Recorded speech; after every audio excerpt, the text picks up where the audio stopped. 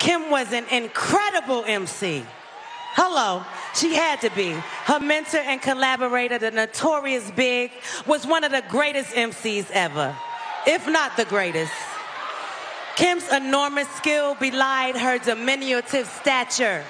She matched his wits and earned her respect. She went toe to toe with him.